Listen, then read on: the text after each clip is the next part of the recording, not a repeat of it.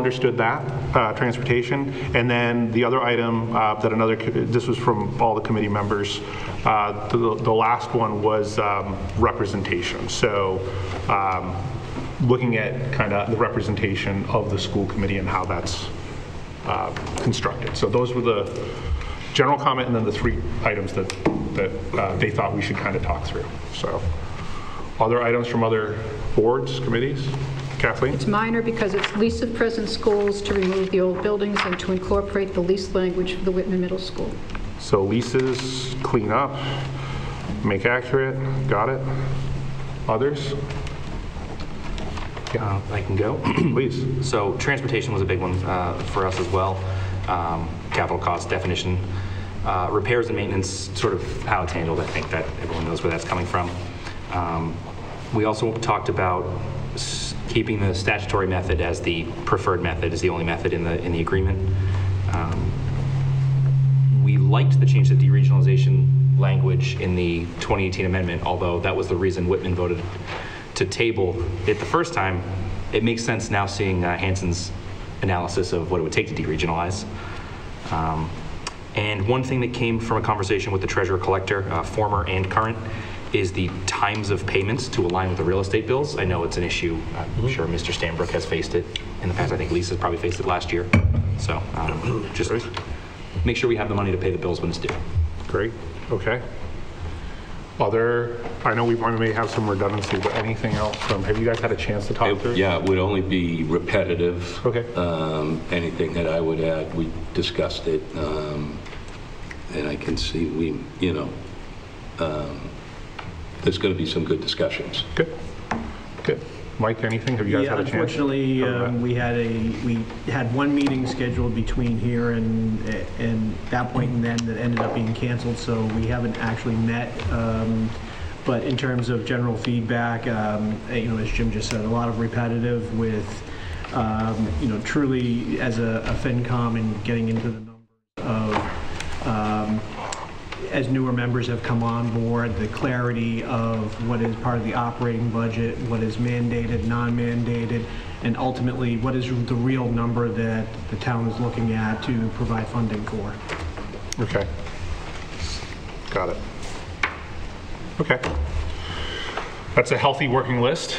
Um, So what I was thinking, and again, we can do this however we want, um, but kind of starting tonight, we can kind of just start to pull up each of these. So what Jeff and I um, had kind of talked about in preparation was giving everyone a packet.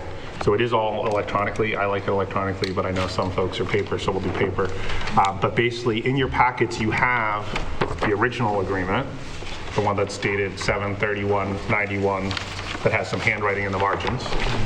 You have the June 18 uh, proposed, I guess that's how I, I'm- I'm framing it as the proposed 2018 agreement, so you have a copy of that.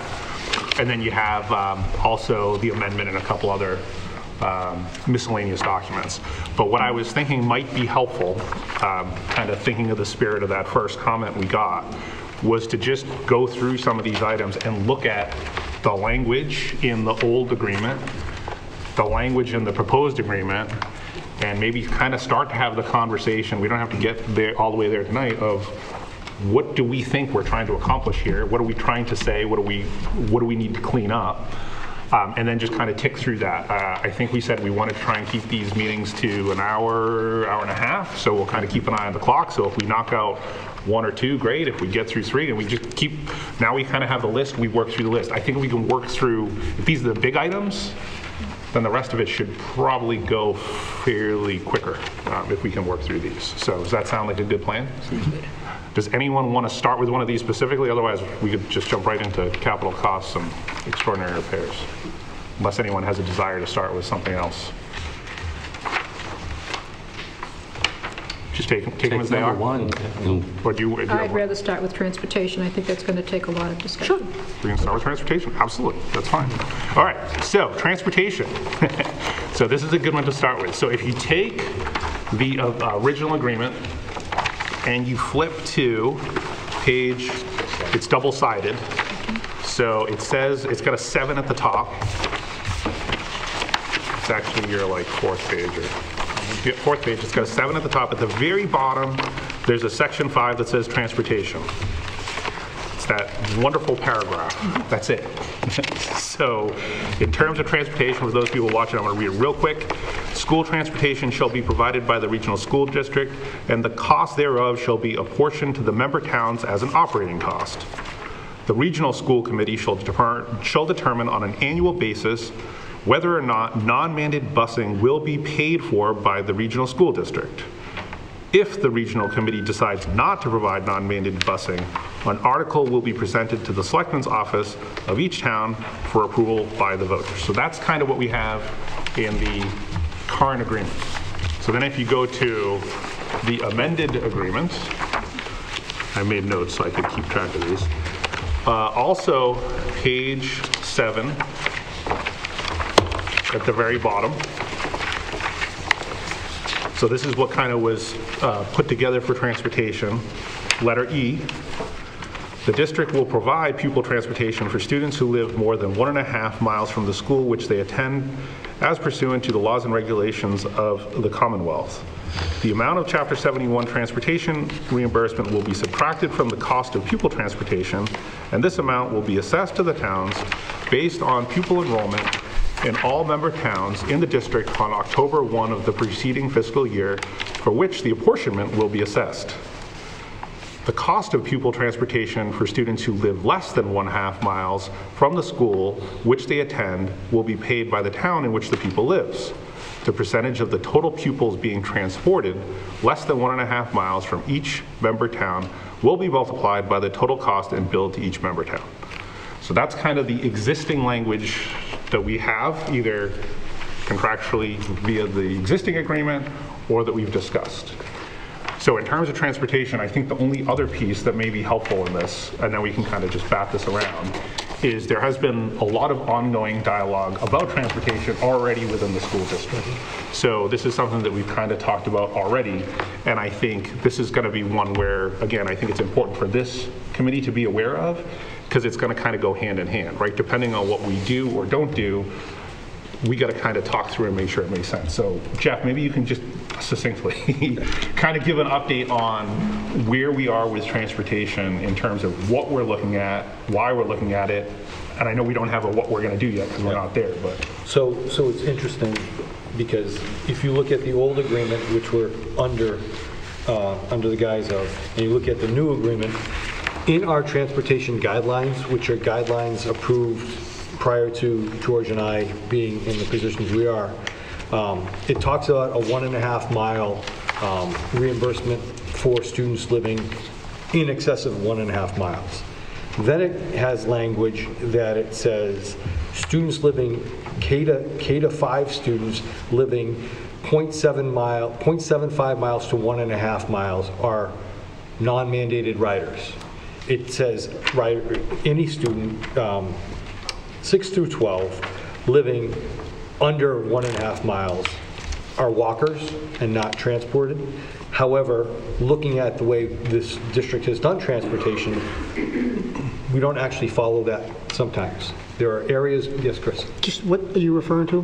The transportation guidelines that we, we bill the towns Your, under. your in-house guidelines, DESE guidelines, what? It's not DESE guidelines, they're oh. in-house guidelines. Okay, thank you. So DESE gives us, car- they just say, we'll, we'll reimburse you for anybody over a mile and a half. Under a mile and a half, they don't care how you do it. That's what I was- So if you look at the old agreement, we're supposed to, or the committee decides if it's going to be within the operating budget or sent to the towns.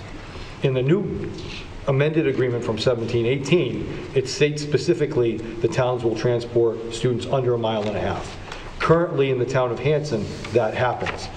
Mile and a half and under, and whoever made the decisions around sidewalks or whatever, they do. So in Hanson, every student is a non-mandated rider under a mile and a half. In Whitman, it is not. It goes .75 miles to one and a half, K to five, get a ride. Under .75, you're considered a walker, and anyone 6 through 12 in Whitman, under a mile and a half, are considered walkers, with the exception of students that are on rooted roads or by train tracks or by sex offenders.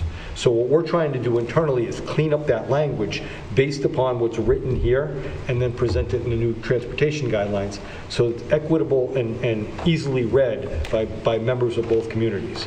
And this came up last year after the Whitman Town uh, meeting, when some parents were talking about voting in the non-mandated piece, they thought because they were under a mile and a half, they were were considered riders. And under our guidelines, they're not. Um, So we are trying to, tr- to, to change that internally to make sure it's equitable. The other thing we changed last year, and it's already in effect, um, we used to, we used to bill the towns for non-mandated riders by student. Now we actually use a mileage-based system, which is, which is more equitable and costs the town, uh, the, the town itself less and makes our reimbursables more. Um, So we made that, that switch last year, and that will continue moving forward. But that's how we, we bill, and we have to clean up the language based really upon the regional agreement to send the towns what, what is actually in place in the regional agreement. The other piece that we um, found out when we had our meetings with, with DESE last year is really the school committee is responsible for district determining transportation. It's really not up to the town. It's up to the, the regional school district to determine how students get here. It's really not, not necessarily a, a vote um, of the communities outside of what's in here. And when we spoke with the Associate Commissioner of Finance, he's like, the, the, the school district is responsible how students get to school. Um, So we have to also address that in here, whether or not that's in the agreement or it's, a- it's something that's understood. And I think that's why number one on that chart is really important, that we understand the meanings of what we're putting here, um, so that it's understood at this table and then moving forward in the next 10 to 15 years um, of what we determine. So it's not something that, that um, can be interpreted differently by different member towns.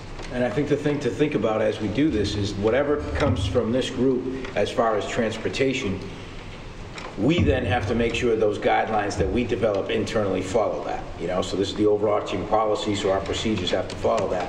But second is, is it viable or is it the will of the committee here, this group, to have different sets of transportation rules per town.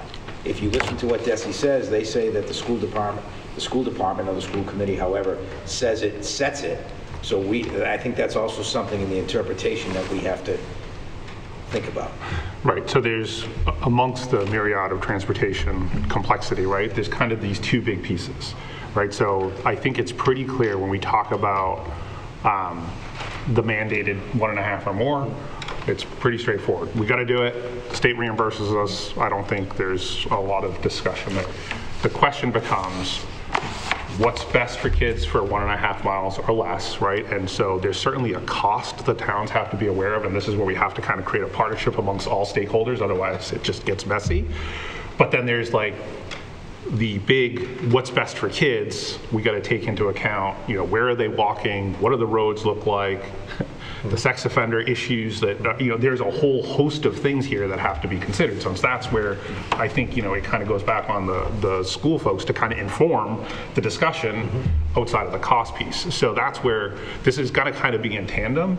And then there's the, you know, what do we want to do here? Because it could be a town decision where, you know, the school, school um, leadership, whether it's the school committee and/or the administrative leadership, say, hey, this is what we think is best. But again, there's a cost. It might be, hey, we're just going to transport everyone, or we're not going to transport anyone, or something in between. And then ultimately, is that something that we say has to be the same for both towns, or we can leave up to each individual town? And and I think there's still a question as to whether it can be left open to each individual town to decide. So that's, in a nutshell, what we got to try and figure out. But we're not going to get there tonight, and I think we need more information. Mm-hmm. Well, given that the position of DESE is that the school committee is responsible, is the school committee prepared to give us a sense of what you, as the responsible, I don't know if responsible is the right word, um, as the school district providing the education for our kids, are you prepared to give us guidelines that you feel should be integrated into the document? I mean, we should start there if, if, as DESE says, it's entirely up to the school committee to determine transportation, that's where we start. Yeah, and so I think that's what's being worked through, and I, what was the timeline? I was looking at February. February, because we're trying to figure it out for this budget cycle, right? So it's soon that I know you're working on that. It hasn't been presented to the committee yet. Nope. Um, And I know we've had conversations, you guys are all working on it. Um, So that has to be done, Frank, in terms of kind of that recommendation. But then I think, and again, I try to mirror all this together. I did talk to some people that um, were kind of part of this original group that, that came together. And I, I think, and again, this is, I think, I don't know, but I think that original intent did have to do with some of the cost associated with it, right? And so you had the two towns, each kind of doing their own thing. They came together, again, the state was dangling the, the carrot of, hey, regionalize, this is a great benefit, we're going to reimburse you for all these, so easy, right? But then there was the, oh, wait a second, there could be a real significant cost here with some of this mile and a half or less. Again, we can all read this differently. My understanding reading was kind of, it was left for the towns for that reason. Hey, we're coming together, we want to come together, but we don't want to necessarily be stuck with what one town decides versus the other. I like what we're doing now because if we use a logical argument, it really should probably fit for both towns. Like, other than there may be one town has an opportunity, you know, the cost issue, right? Whatever way that goes.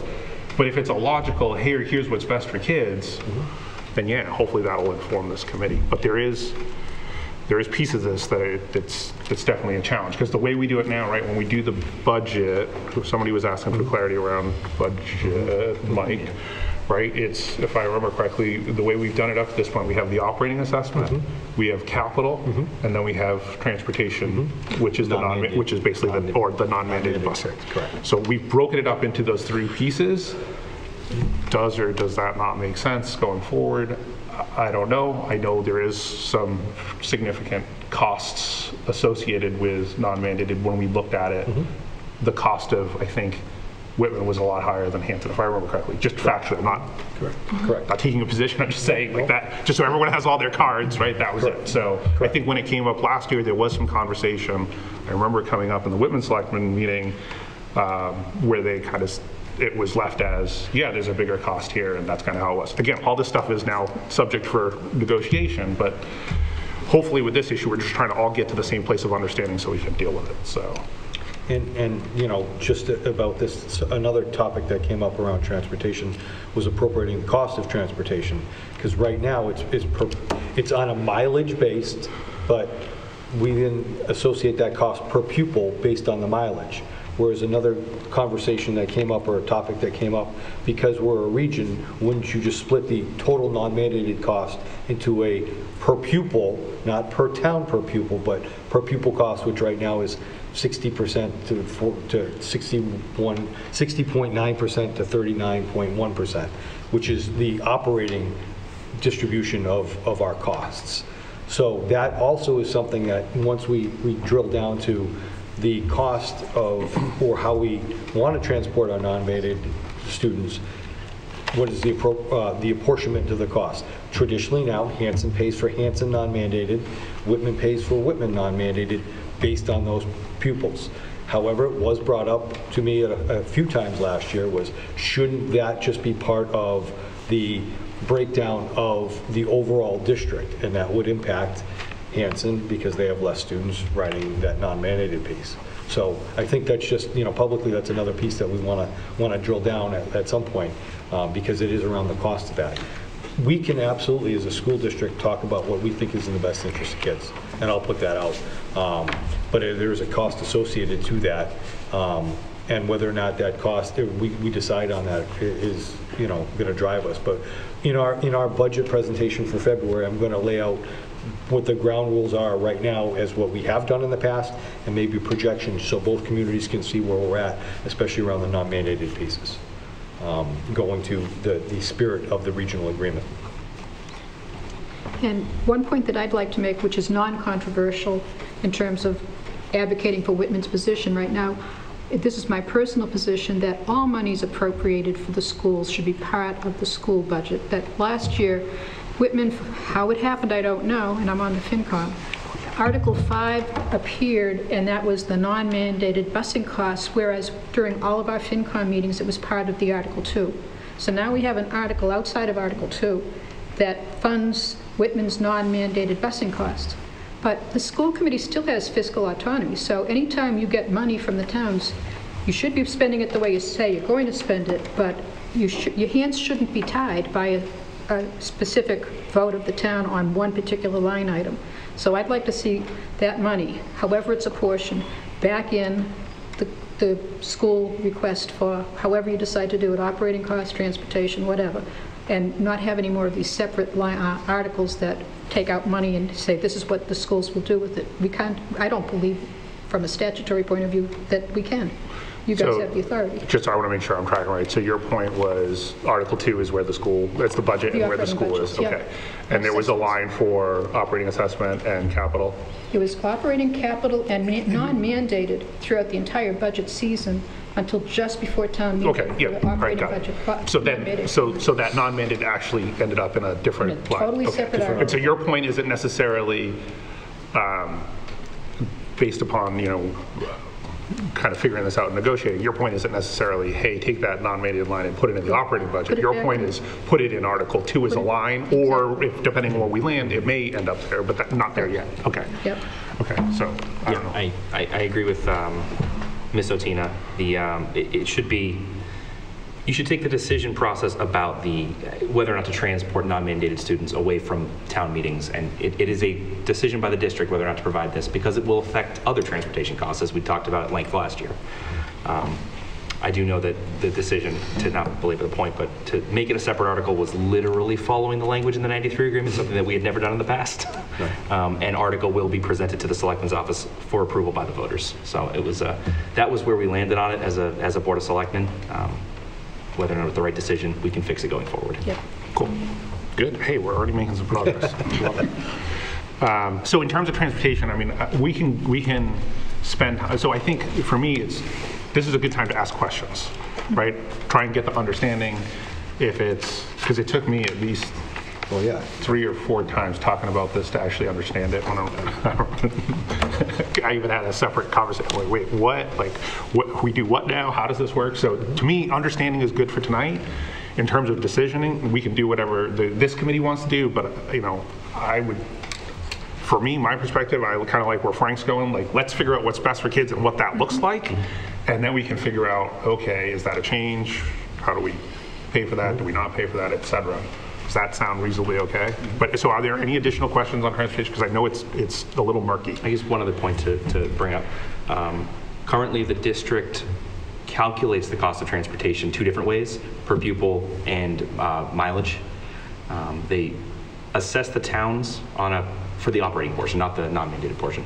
For the operating portion, the costs are sent to the towns within the operating budget at a 60-40 split, and then the money is, is recouped from the state under a different formula um, using the student mile method, whatever we want to call it. Uh, I personally would like to see that aligned. I think we talked about it a little bit at the last meeting, whether, now, I think that the town, the district will get more money back under the student mile method, so that would be the preferred method to use, but I would rather the towns be assessed with the same formula that you are asking for reimbursement from the state with. Does that make sense, John? Okay. Yeah, Can you, I understand. It would be You a change. I don't understand. Can you help? I'm looking at you because I'm not following either. Uh, So last year, was it February or March, we changed the method from a per pupil method Yep. to a mileage method. It, it, uh, it ended up uh, giving us uh, more of a state reimbursement. right, That money went into the general fund of the, sc- of the district. It didn't go towards back, back towards um, the the costs of the, of the, of- of the, uh, of the busing. Um, So, you know, we're, we're splitting the costs per, in a per pupil method on, in '24, and the money that's coming back is coming back on a mileage method and going into the general fund, not being put towards, right right towards those costs. Is it, am I saying that Yeah, yeah, you're getting there. It's a, it's just, So you're- just, you're, so I can yeah. clarify this. The recommendation you're making is if we're being reimbursed by miles, then we assess by miles. Correct. How many miles are driven in Hanson? How many miles are driven in Whitman? It's that basic. Yeah. I Okay. believe I did that, but Yeah, I'll double did. check, I don't have. no, that's helpful, thank you, Frank. Yeah. If that's, if that's the argument, then I, I may have, or I may have done that. And I think you've done that for the non-mandated portion. I guess we'll get into it probably Thursday at the budget presentation, but, You're right. but not for the mandated portion. mandated. And so now there's three different calculations going. But that, Now I but- get so, so Yeah. that really wouldn't, and again, I think these are the things we need to talk about, but if we're going kind of, and and I'm not a, I'm not advocating like we keep doing things the way we've done them, but if we're going with kind of the way we've done them up to this point, when we talk about that non-mandated cost, we've said the towns kind of bear their costs. What I'm hearing you say is, yeah, we were doing that on a per pupil basis, but we should do that on a mileage basis for consistency's sake, because we didn't do that when we did the non-mandated. We should do the mu- The mandated main- portion. Yes. As on a mileage basis as well. Oh, and so that's what we didn't do? That's- It was the Yes. mile, okay. That's the difference. Okay. I just want to see one formula so it's easy to explain this process in the future. Yeah, no, good point. I don't see why that wouldn't make Yeah, sense. no, I, that- I- It might have just been, again, in the process of changing Yeah. over, this got changed, this didn't. Okay. Okay. Whatever makes it clearer, Glad you're gonna following, make it a John. lot Yeah. easier for Following. everybody. I got Yes. it, I understand. You got it? I think, and I think John was hamstrung by the language in the agreement, he- where he couldn't do that. this Got year. it. And that's on the manda- uh, mandated Both, busing. both. It- We already, No, we so, right, I thought we didn't, I was hearing him, and I thought we needed to make the update on the non- non-mandated, but it sounds like we we need- made the updated on the non-mandated. We just need to make it on the mandated, which again is kind of a a technicality, since that's all state reimbursed Yeah. money. And that's on the 60/40 split, That's It would be getting away from the 60-40 split, going to, Mileage based. mileage based, the Right. same way we ask for money back from the state. okay, so it would basically, if I'm hearing it correctly, it would stay the si- the way it has been, where it's been more of an 80/20 split. For the non-mandated piece. Yes. Yes, we could discuss that, again, if the district decides on how to, if the decision's made at the school, dis- uh, the school committee level, maybe it would make sense to bring that into the budget, but I'm talking about something different right now. Okay. I I just want to make sure, because, I mean, even that time, and I've only been to a few school committee meetings, but there was a vote taken, and they wanted it all grouped together, and that wouldn't, I think, right, I think, I think everyone's struggle has been, we have a paragraph, exactly. right? We've been doing it for 30 years. 30 years, and then we changed some other stuff, and now we're trying, right? So I don't, right, I think that was the hard part, and I think that's what resulted in these weird kind of, we got to vote it this way to make sure we're doing this. I think the charge of this group is going to be to clean, like, let's just clean, so like the spirit of this conversation, let's clean this up to a point where it just, we kind of know what it says. Let's make sure we're all on the same page, take it back to everyone so that there's clear language that spells this all out going forward. So there is no, whether it's the school committee shall decide, the school committee should vote, the whatever, like we need to spell all that out. Um, For now, I think we're kind of stuck in the, this is kind of how we've done it interpreted.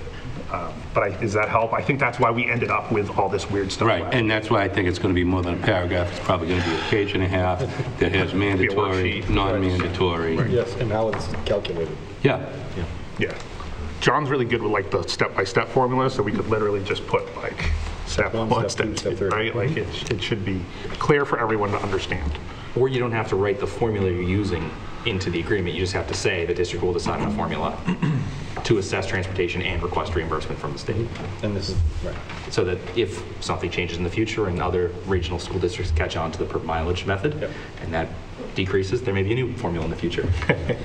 When state aid, instead, when they catch on and they move from a 96% to an 80%, so it balances out. Yeah, I see what you're. Gotcha. Yeah. So just, just so I have clarification, um, it sounds better to move towards a mileage because if they're doing it per pupil, do we actually know how many pupils are utilizing the bus? So, right. Because, I mean, I I can speak probably for many who travel Franklin Street, the traffic to get in and out of here during school, before school and after school is horrendous, and it travels all the way down Franklin Street, which to me says more, there's plenty of people who are either driving their own cars for students or being, students are being picked up. So do we actually know how many pupils are actually utilizing the busing systems throughout the two towns? Do, we- have we ever taken account or So there, I think to figure there's, that I out? think there's two pieces. So one is, um, not to rehash kind of the, the fun we had last year, but there was a clear advantage to everyone Whitman, Hanson, the school district, everyone, in using that mileage-based formula, because we were able to take a bigger chunk of that reimbursement. So that was, I don't think anyone argued that, everyone's happy with that, we're gonna keep doing that. What these guys are talking about is, at some point, you know, if everyone were to do that, you know, does the state now reduce the reimbursement, right? Because they have fixed money from the pot, and we're they we did this all the up and up, they blessed it, all that. I think the second piece is about transportation utilization, which I think is part of what is being looked at. The hard part with that becomes, as, It's as a- these folks have articulated, the state has certain rider. requirements. Right, it's an eligible rider, ridership that you have to have 75% or more on your buses of. So at any given, so that's how we take that count. But at any given time, somebody might not take the bus that day, that week, whatever. However, they're still eligible to ride that bus based on where their physical address is. So if you go with, you can only ride when, if you say by this date, you are going to then decrease possibly the amount of riders, but you're going to decrease the amount of money that you can then claim for reimbursement from the state. So it's one of those, these are the eligible riders, this is what we have to report at, this is the, that list. However, if, the- if you don't take it, you're still eligible should you want to. So nobody really wants to give that up. Parents don't want to give that up, because at some point they might need it again. So it's real hard to take that snapshot in time. And we can't make them give it up, right? Right. No, you can't. So even if we had a legal document that said, Chris Howard signs that his two daughters are never going to ride the bus, and they build all these plans, I can wake up the next day and be like, hey, per state law, my kids get a If you're one, seat, if so. you're 1.56 miles away. Yeah, and I'm or further one, than You know, and that's, that's the issue here at the high school. It's from the door to the door, not the beginning of Franklin Street. So I think last time we looked, there were two kids. why we got a long Two driveway. kids that were less than a mile and a half from the high school. You know, there's not, really not. So if you look at the, the 20-some buses. Until you drive down the road. you know, a lot of times kids aren't on the bus, but by law, because we're getting that reimbursement, those buses I know what you're run. thinking. How far back can we put the middle school? right. We're just gonna say, yeah, the the way we're gonna solve this problem, we're just gonna build really long road changes. Every road's now a mile and a DESE half. will love it. Your fields are in front now, right? Middle school's in back. So, yeah, we're, we're working on that, but that's, and again, publicly, that's, we've said this before, but even bringing it here, because of that 1.5 and we're a regional district that is reimbursed, we have to put every student who is 1.5 and above with a seat on the bus, whether they they never decline use it or not. Which is the weird part. And I don't think that should be an argument if someone chooses to drive. Correct. Correct. It's their own personal decision. Right. It's like, why do I pay taxes if I don't use this? Because you're Correct. paying taxes. Yeah, and that's a good point, right. Any other questions on transportation? This has been good. I think this is kind of getting us all to a point of understanding. Anything else? Final point is just make sure whatever the final decision is, that the student transportation guidelines, which is totally separate from the agreement, 100%. reflects what, Yes. because there are parents 100%. in Whitman, I'm sure they're in Hanson as well, who are confused. Yes. It's like, I thought because I voted for the non-mandated busing that my kid would get a bus. We agree. Ah, I took those calls. Yeah. I talked sent to a you few in the grocery store. No, I, I- we understand. Yeah. Thank you, Kathy. Yeah. Yep. Good. So transportation, I think we got some understanding.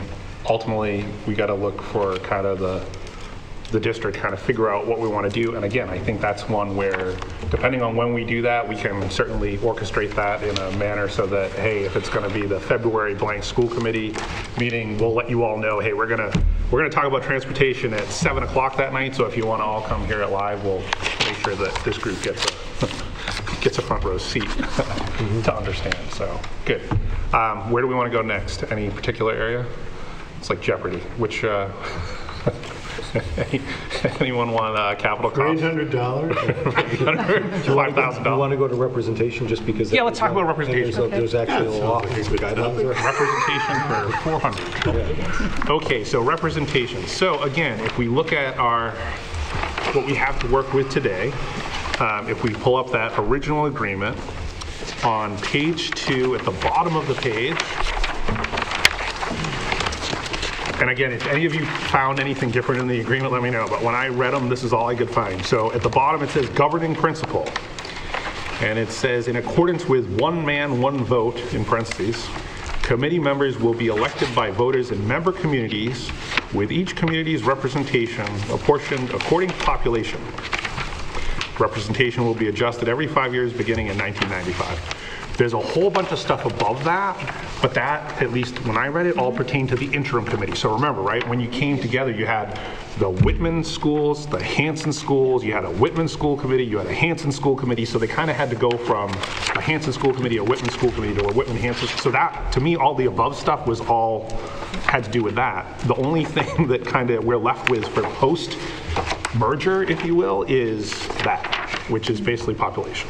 So that was the old language. If you go to the proposed agreement, and you go to page two, top of the page, hopefully my notes are right here. Uh, Page two, top of, oh yeah, here we go. Um, Letter C, small letter C there towards the top of the page.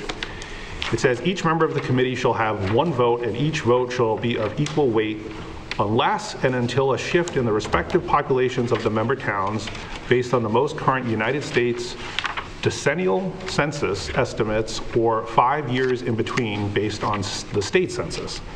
If a population shift causes an impermissible disparity based on the one-person, one-vote principle, the committee will act to address the disparity by either adjusting the number of committee members or weighing the votes. So if someone can explain precisely what that means, I'll- that would be helpful. But, so that's kind of what we have there. And then um, in your packets, I think this is the relevant, this is a very relevant document. So at the top, it says, uh, Administration of the Government, Part 1, Title 12, Chapter 71, Section 14E. It's one page in your packet. You all have that? So this is um, the state law that pertains to how regional uh, district committees can form their membership. And I'm not going to read it in its entirety because I don't love doing stuff, but basically, there's five ways. Um, One is electing committee members by voters in member communities with each community's representation apportioned according to population. So I think that's what we do now. Two is electing members in district-wide elections to be held at the biennial state elections. The third option is electing members with residency requirements in district-wide elections to be held at the biennial state elections. Four is weighing the votes of committee members according to the population they represent. And five is appointing committee members by locally elected officials such as school board members. Each regional school district shall designate an individual service clerk. So that's kind of what the state has given us as the parameters. Um, So when I was thinking about this topic, I don't know if, uh, you know, I don't know, I know what we've done. Um, I don't know what folks' thoughts are. I mean, to me, the language is clear. I, I know if communities agreed in doing something different, I, I suppose we can try and petition the legislature to change the law. Um, but the law does kind of create some parameters around this one. So that's kind of what we have for representation. We can take that conversation wherever people want to go, so.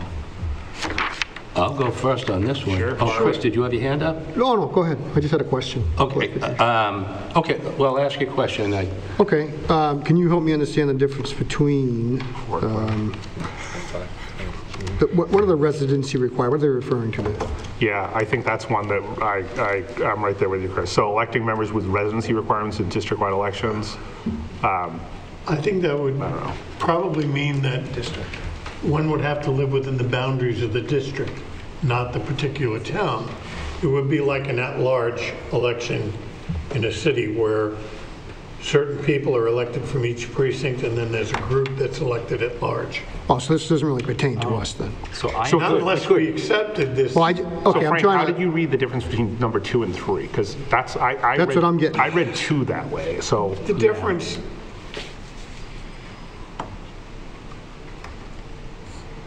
I didn't know the difference. I thought I difference. saw it a minute I was ago. struggling I've between read two this, and and every time I read it, I read it differently. Two and three to me were what he just said. so I, I read two that way, and I read three as you run as the Whitman School Committee member in both towns, and someone else would run as the Hanson School Committee member on ballots in both towns. But doesn't it further uh, down say, Okay. So you would have, so scenario two would just be Justin Evans is running for school committee, he'd be on the ballots for both. Whitman and Hanson. And three would be Justin Evans from Whitman is running from school committee, and Chris Scriven is now from sort of Hanson. what it sounds like. Okay. That was my. Okay. So, so can I ask a further clarifying question? So that means that possibly you could have eight members of, Yeah. like, you're just elected to the school committee. Correct. So you, so there's no Whitman or Hanson. You could have, eight 10 you could have from 10 one from, town. you could theoretically have 10 from one Yep. committee. In scenario two. Um, And that two, right, and two. Okay, help me understand scenario three then. So then scenario three would, it would either be you run for a specific seat, either the Whitman or the Hanson seat. But you could or- be from either town? Or it's at large and it says no more than six may be from Whitman, no more than four may be from Hanson. But it would be district-wide. But So district- people Both are from Hanson would be district-wide. voting for the people in Whitman. Correct. Yeah. In And both people in scenarios. Whitman would be voting for the people in Hanson. And you're saying that two would cap it at whatever we determine, and three Wait, that would get confusing. wouldn't? Hmm. So both. And we can ask for legal. Yeah, we Oh, yeah, may, absolutely. I- I'm not a lawyer again. No, but I think, this is- I yeah. kind of see where Smarter you're going. that's all. That's uh, just Doing how a good job. I'd read this, yeah. So two would be, you know, 10 members running in, or 10 seats in both towns. Yep. Right. However, it Doesn't matter where down you by the vote. Right. And the same candidates would be on both ballots. Right, both ballots. And three, the same candidates would be on both ballots, but there would be a limit to no more than six maybe from Whitman, no more than four maybe from Hanson, either by voting for a Vote for two, particular vote for seat. three, depending or- on yeah, what your population Exactly. is. Yeah. So those are the kind of the options that the state has given us thus Yeah. far. And that's why I think, um, you know, and and thanks for having us in here, Chris, and we've talked about it. Um, I think um, a two-thirds vote on any kind of vote that the school committee would make would be the easiest way to do this. Um, So that on, on anything that the school committee would actually vote for, you need seven out of 10 um, whether that's, and here's my thinking on this. If the school committee is doing their job, there's never a tie vote. It's never 5-5. So to give Hanson a fifth member and take one away from Whitman to make it 5-5, it's not going to matter. Because if a vote ended 5-5, the school committee members are not doing their job for the district and for the students. They have some hidden agenda in the back of their head that they want to take care of their town they're from. So if it's still a six to four, and you need seven votes to pass something, they're doing it for the benefit of the students and the benefit of the district. And the towns have nothing to do with it. I mean, Justin and I can sit here all day. He represents Whitman, I represent Hanson, but Chris and Chris represent the district. So if it was a majority, if it was a two-thirds vote on any kind of vote, you're doing what's best for the district. Well, I- that sounds, I mean, I, in- on principle, I guess I can understand that, but in practice, uh, I don't know that that would. Well, uh, So Jim, on here's- any here- Here's one, so here's one super relevant fact, because I'm not sure, I think you guys may know this or you may not, but the budget vote requires a two-thirds vote. Right. So anytime we vote the budget, and so, and, and the voting requirements, whether it's majority or two-thirds or the super majority, there's like a nine-tenths one for, what is it? Unpaid bills. Unpaid bills after the fiscal Yeah. year. But that's all codified, again, like, in- and that's mass general law. Like, we don't have a lot of, I don't know, we can ask, we'll leave anything on the table, so we can certainly ask. I'm not sure we'd have a lot of leeway to say, you know, hey, Whitman Hanson wants to kind of change it this way with like a two-thirds, right? Like, that might be tough. But just for a point of reference, the budget is a two-thirds, right? Like, no, so ma- no matter what, even when we had the issues going back a few years ago that I want to block out, um, right, the- a lot of that came down to the fact that we couldn't get a two-thirds vote to kind of move past the issue. So the big one, I don't know if this helps you or not, but the big one, which is the budget vote, is codified. It has to be two-thirds, always will be. and has it ever been less than eight to two when you attended, your- eight to two? The budget? The the first, the Oh, yes. year when we, when we went. Was seven to three. It was six-four for a bit. for a while. For about Six, four. uh, four months. Yeah. I didn't have any gray hairs before that. It was COVID. Neither It was, Chris. it was, it was And That's I what I- I think remember that's what I was somebody getting got at. creative. It's- when I'm sorry? That's kind of what I was thinking in, in Well, that in practice, vote. it's, No. it's, No, people vote with their towns more often than not.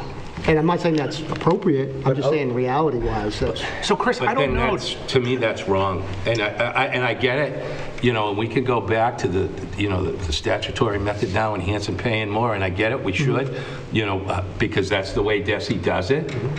But I think the school committee, as members, has to hold themselves to a higher standard than living in the town of Whitman or living in the town of I think that goes back to um, voting and who, what uh, candidate is elected from the community. I think But that- Chris, but hang on, hang on. So, and you can, you guys can jump in. The only time, so I've been on the committee seven years, the only time I can recall us ever having Hanson Whitman votes was when we had that Yes. statutory budget. That's it. That was, that was Ever. the- the spring of So we certainly have uh, six, I four. remember.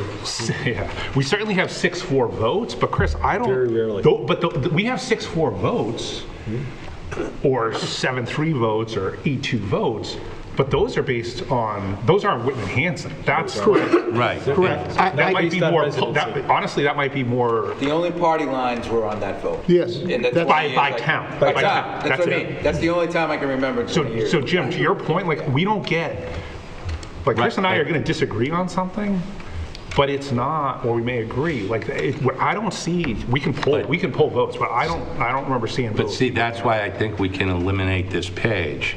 Um, And, okay, so I, you know, not to get sidetracked. uh, I was the chair of the deregionalization feasibility committee for the town of Hanson. And that's because that's what the people in Hanson wanted. So I did it. But going through that process, I, you know, and I know I was very vocal, um, you know, against Whitman. I know I was, but I was wrong. Because when they when I saw what it was, I, I, I understood it much more clearer. And if I was a member, I'll probably never get elected to the school committee, but if I was a member of the school committee, my job is not for the town of Hanson, my job is for the district. And this is what DESE has said we could do we have to do it for the benefit of the students. Mm-hmm. And I think we can eliminate a ton of stuff just by making everything a two-thirds vote. I mean, it's just something to think about because, can I just It's an interesting thought. make sure I get where you're going? Um, If we were to adopt a rule in our agreement that says all school committee votes must be two-thirds, that would end the discussion about whether it's 6-4 or 5-5. It would just put it to rest. Because it In wouldn't your be for the benefit of one town or the other, it would be a benefit for the district. I- I- And, you I know, hear it, I get it. I, in my experience since 1993, when we first went into the region, I've never seen a party line vote, except 2020. when we got into the uh, assessment. I've seen stupid votes. But I've never seen a party line vote. But I really do think we can eliminate, you know, quite a lot of stuff with that. And, you know, whatever, let's say a few years down the road, if we're going with the statutory method, and a few years down the road, it switches where Whitman, um, you know, has higher property values and uh, better medium income, um, but it's still there. And the school district will still vote what is best for the district, no matter which town. Yeah, I, I can, I think in principle, I can see where you're going, but in, in, uh, to your point, Chris, I understand that we don't always vote 6-4, right? No, sometimes it's 10-0, sometimes Correct. it's 9-1, Right. sometimes it's 8-2. When we got to the statutory method, that was fresh in my mind.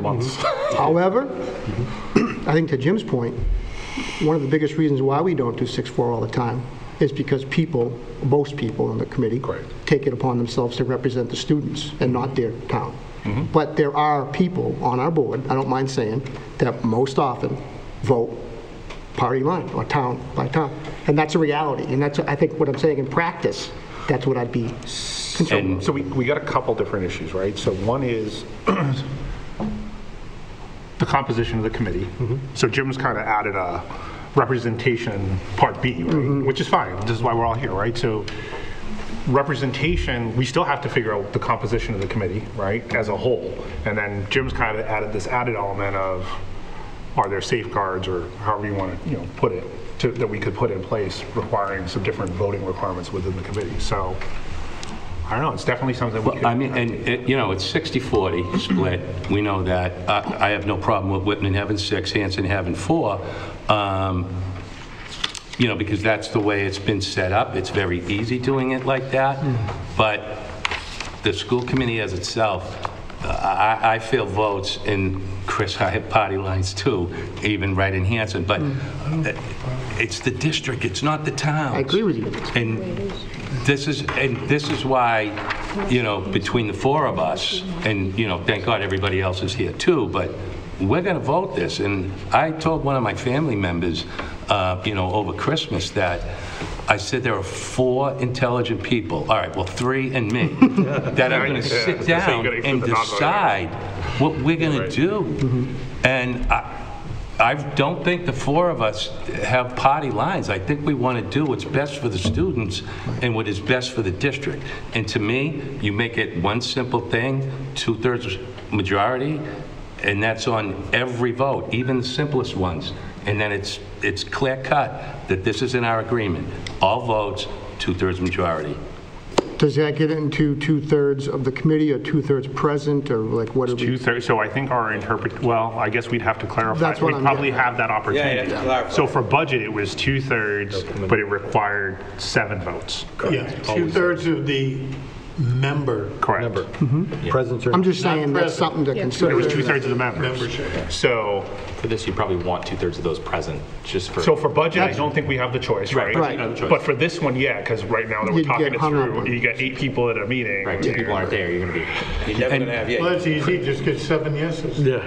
Chris, you know a couple weeks in advance if you, you're going to have an important vote, and you want to make sure you're at that meeting. So I'm trying to think of, is, can you guys think of where that would have been an issue? Like trying to get a two-thirds vote? I mean, so we got policies, um, we have reports that we accept.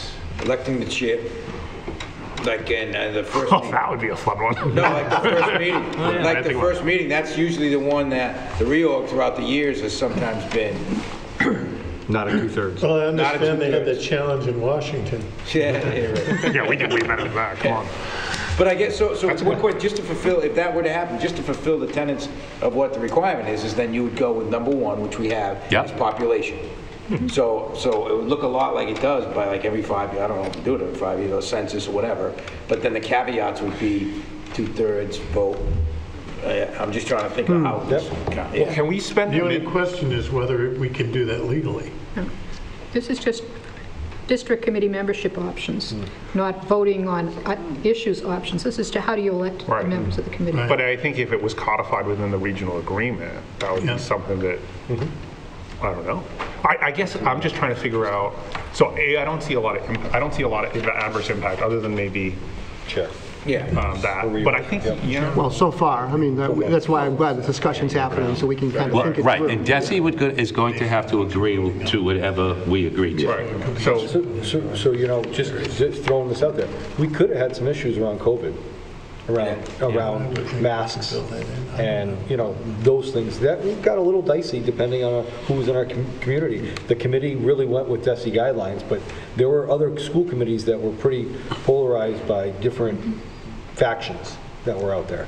So, you know, again, what's in the best interest for kids? because you're might be really that. moving the majority from six to seven. Mm-hmm. Just one person. Because right now, to get a majority, you need a six Six, four. four. Yeah, Yep. it just increases the difficulty of the school committee passing anything. Mm-hmm. Probably wouldn't affect much, but mm-hmm. Okay, so I, maybe that's one we can kind of, Chris, I just, I think in this case, it's, what, what do people have the biggest fights about? And it generally comes down to money. well, now it's arguing And- two-thirds. Yeah, and Yeah. it's, so I think that where any of these discussions come is when people start rifling through who's going to have to pay for what. Um, So I would think that on a go-forward basis, the, where it would be most advantageous is that because I think then you get the, the uninformed viewpoint that, um, you know, they are making me pay this. And, and I specifically want to say the uninformed viewpoint of it, because it's a knee-jerk reaction. And it's the, so I'll give you a quick example, because I don't know the specific formula, and I'm just thinking that there's more students in Whitman, but if you have more kids getting on the same stop, and the mileage is roughly the same, because you have 10 kids getting on one stop to four in Hanson. Um, You know, then does somebody else look at that formula and say, well, wait a minute, that now has this much coming back on this side of the equation versus this much? these things generally always revolve around money, and I think that's really the only point where I can see this being advantageous. Okay. So we can certainly kind of let that sink in and think about it. In terms of the actual composition of the committee, so the part, Jim I introduced Part B, I'm going to bring it back to Part A. Um, Do people have thoughts in terms of, so right now, we do number one, electing members based upon the, the population, right? And there, we can probably figure out some language of when we revisit population, but does that make sense? Or is there any appetite to look at some of these other options? Makes sense. Makes sense? See, to me, the only, thing. oh, go ahead. No, I was just going to say, it makes sense to me, and I think it, to, all these other options seem to be really complicating things, A- and so that's just a first glance, uh, but I'm obviously open to anybody else's perspective. So the thing that, and I'll throw it out there, and then if there isn't an appetite, we'll move on. But the thing that, you know, I think about when Jim made that point of we're elected as school committee members to do what's best for the district, I guess when I think of my role, I've never thought of it as, as a Hanson versus Whitman role. Like, I just haven't. I, I've never, that's, it's not really, that's not my thinking, right? Like, how, how can, because to me, that's a short-sighted, that's going to run its course real quick. And when I think of some of the people that I need to work with in Whitman, like that's not going to work very well. So I kind of like the notion of if you have a committee member and they're consistently just in it for, you know, I'm just here to do it this way and I, that town be damned. I kind of like the idea of introducing some sort of voting where, you know, you, you got to kind of represent both towns whether so i don't know like you know i don't know whether that's two or three and, and maybe maybe we just maybe it's not for us but i kind of like the fact that yes chris is elected i'm elected from hanson but i need to support the district and if someone for whitman has a point i can't just be like you're for whitman pound sand. You don't vote for me. No i might actually have to have that dialogue and listen understand because maybe they are going to vote for me. So i kind of i almost i'm intrigued by this option of you know, whether it's, you gotta, you know, we're- still gonna do it by population, and there's six people from Hanson and there's four from Whitman, but maybe this concept of people from both towns are kind of having some input on who's serving on the committee, or we just have a district-wide. I, I can see the district-wide becoming an issue because, you know, maybe this town has more people that vote, so, I- and now you're, I can see that being an issue, but I do kind of like this idea of, I guess the way we're interpreting number three, electing members with residency requirements in district-wide elections to be held. You know, so we have six seats from Whitman, so there's going to be two a year right now, and there's one from Hanson, you know, and every third year there's going to be two. I I don't know, I kind of, I, I, I, I- I'm intrigued by the option. I think the only challenge there is that it becomes the state election. So rather than running a May election where you need 600 votes to win, you're running on either the presidential or gubernatorial ballot where you'll need 6,000 between the two towns. So it really increases the difficulty of running for a school committee seat. Uh, I didn't think Which I guess is up to biennial. you guys, the but that becomes a much more difficult, I mean, fundraising wise, it And- becomes and a I- challenge. Yeah, The thanks for- I wasn't really is the thinking about the biennial. Yeah. Because the state elections are in November, so Mm-hmm. your school committee would You'd be Right in the middle of reorganizing. budget season. be reorganizing Yeah, I don't like just when the budget's being presented. Yeah, no, thank you for, your- I wasn't really thinking about that biennial piece, but yeah, that, the state elections, that would be a little messy, because then you'd have, I mean, right now we have some annual change, which is also helpful, because if someone decides to leave, you just slot it into the next May election. Okay. So is there any appetite to think of something other than one then? At least in terms of bringing that back to your, so I think tonight's meeting, right, bring some of this back to your respective boards and get some feedback. Um, Transportation, hopefully you can share a little bit of an update of what we talked about, what we're looking to do. Um, And then, do we want to, I guess we can throw, you know, the, the idea Jim had of maybe I think a if two-thirds vote. Jim, Jim's idea of saying, look, here's how we make it apolitical, that works for me. I don't have a problem with the two-thirds. Yeah, so maybe we bring that back. I think it's important to define whether it's two-thirds of the committee or two-thirds present and voting. Yeah. Which has pros and cons on both sides, right? Right. Mm-hmm. Because all of a sudden, people conveniently decide not to show up for a meeting, and now you have two-thirds was Right. four, four out of six, right? Um, So yeah, we'd have to. You wouldn't have a quorum with four. No, if you had six members, so if we did it of members present, and you had six members would be a quorum, then Four technically you'd only need four votes. I don't think the chair would uh, hold those votes if, Well, unless it was a, you don't, this this is kind of what I'm getting at. I'm just trying to My throw it all out, perspective Is that, um, you know, it's one thing to make decision based upon the people we have in, in these seats now. And, that and you say, you know, okay, I know how we operate, well, 10 years from now might be completely different. So I just want to make sure we're considering that as we go forward, you know? Yep. I- Well, on that point, Chris, I would hope that this, uh, a regional, the- the regional agreement is reviewed uh, at least twice within the 10 years. You know, so that the possibility of those people, if they do get on, I would hope the towns wouldn't reelect them if they're not showing up. Right, I know. But, you know, I mean, that's why I think, you know, we went way too long, from 93 to 17 or 18, and we're, we're finally getting back here. Um, I'd like to concentrate now, and then, like, where you're worried 10 years from now, let's put in a, uh, you know, a thing that we have to uh, review the contract, um, where it becomes much easier for you know, four people or whatever that number is going to be four years from now to take two meetings, three meetings to review the contract and say, no, it's good, everything is fine, nothing's changed in four years. Okay, we're ready to do a- another review three or four years later. Boy, did we screw this up last time. Yeah. Yeah. Good. And I sat here every month for a year, and, you know, it was a waste. That's why I like the way this committee is set up. We're going to meet every Monday night until we're done. So, Except for next one. But after that, yeah. it is Monday, right? Yeah, but next Monday's a holiday. Holiday. But every, every Monday after that, yes. I, I like where you're going, yes, absolutely, 100%. I just didn't want anyone to show up next. And that's why, getting back just to the two-thirds, it's going to hold those committee members responsible for showing up and doing the right thing for the district and not have some kind of hidden agenda for their own town. Yeah, yeah. You So, know. I think it's good. So I think we can, um, uh, if, you know, I don't know if we'll have time. I know we have Regional Agreement Committee update um, on our next agenda for Wednesday, so we'll either bring it up to the school committee this Wednesday, we'll try and bring it up this Wednesday, at least get them thinking about it, just to get thoughts. Um, So we talked about transportation, we talked about um, representation. This is probably a good place to start, because we're right in that window of an hour 15. Um, And then we can just pick back up with uh, costs, extraordinary repairs, um, and, um, what am I missing? Leases. Oh, le- and leases language, and time of that's payments. So we'll pick up with those three when we come back, not next Monday because of the holiday, but after that. And then the plan is to just keep rolling Mondays after that.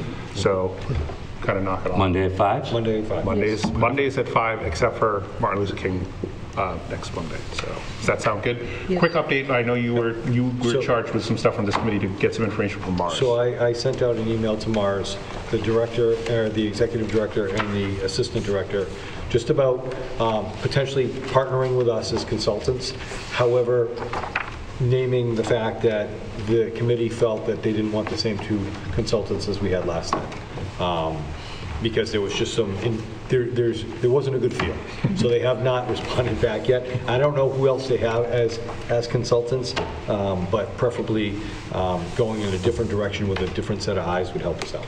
So I'm just waiting to hear from them. So I assume by the next meeting, two weeks from today, I should have information for you. And the level of, of consultation is going to be depending on what this committee wants. Um, Because a lot of that, their consultation went into that 18 document. Um, And then if you want, I can, if we have legal questions, I can Right. send them out to our counsel and try to get some answers back for the next meeting as well. It sounded like the only one was the interpretation of the different composition options, but it sounds like we don't need to touch that anyway, so I think we're in good shape. Um, Other than that, the only other thing I mentioned to Jeff, I didn't catch this when we put this together, public comment, so we will absolutely make sure it says public comment on the next one, because I know we talked about having um, town representatives, uh, members at large, that type of thing, so if folks want to come, they can come. Obviously, we want these to be working meetings, so we're not saying we're just going to stop every two seconds, but if folks have, if any people in the public, people you talk to have questions, concerns, thoughts, have them come here, because it's better for them to come here than to show up at town meeting with their questions. Um, Other than that, I think we covered everything, so unless there's anything else, accept the motion to adjourn. So moved? Second. All right, all those in favor? Aye. Thank you, everyone. Have a great night. Thank you.